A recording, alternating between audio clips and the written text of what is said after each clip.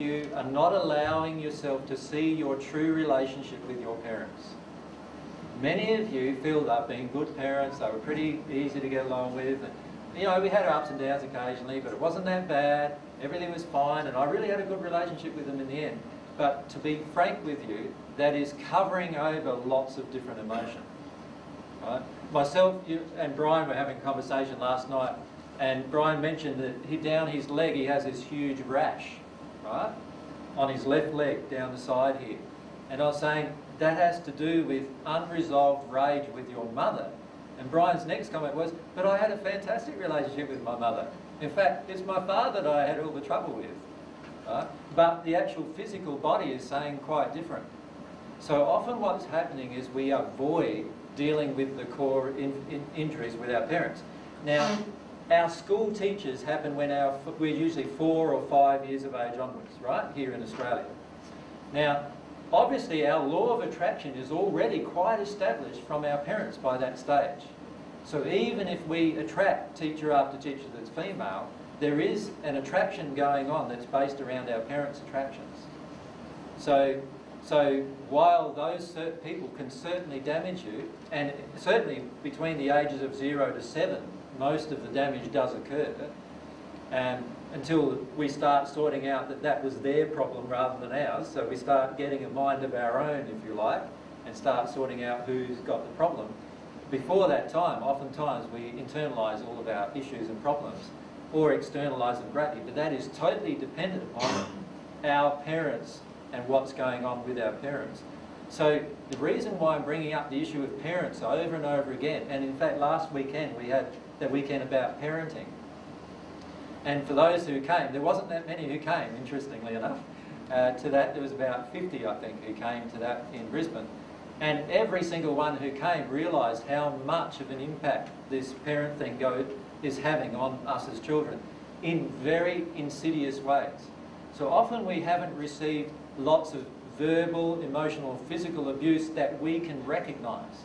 But the reason why we can't recognise it is because it's so fine that we hook into it and un unfortunately become so hooked into it that it's not till later in life that we realise how much through the law of attraction it's affected our life. Maybe, um, I don't know how comfortable you feel about saying that with your parents. Like, it certainly, I, um, I was raised with lots of hugs and I was told that I was loved a lot and um, I would have said that I, and I still say that I had a fantastic childhood, but I'm 30 now and I have a lot of stuff that comes directly from my relationship with my parents and as each week goes on I go, oh, oh, and there's that and there's that. And it doesn't, I don't feel, um, I'm just checking is true, yeah.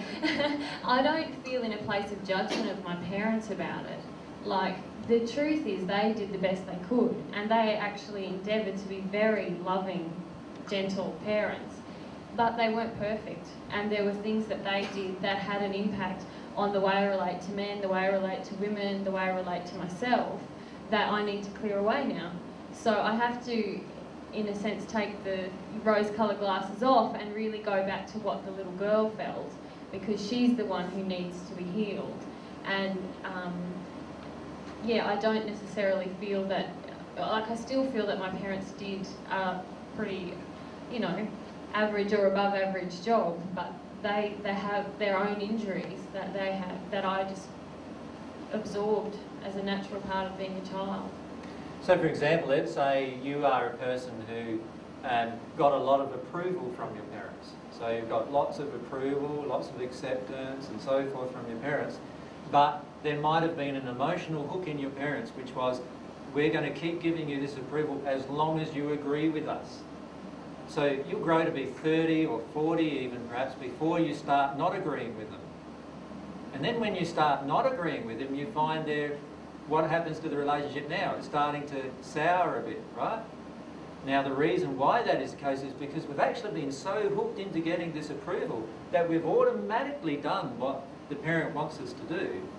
And as a result of doing what the parent wants us to do, they're all happy all the time because they're happy with us all the time and we feel really happy, but the instant we do choose something that, that's something way out of their left field that they can't cope with, now we've got a major problem.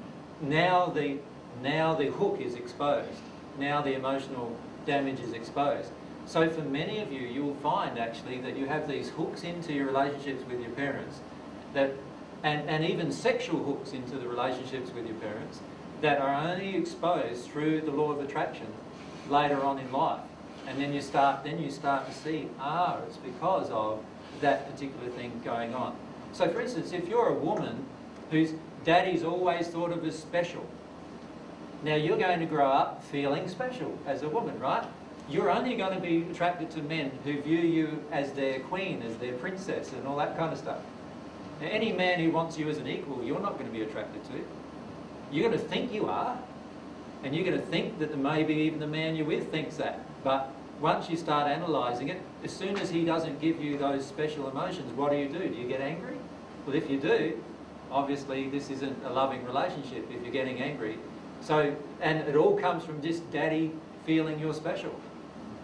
And yet you might not have ever realised that until you entered a sexual relationship with somebody else. Do, do you follow me?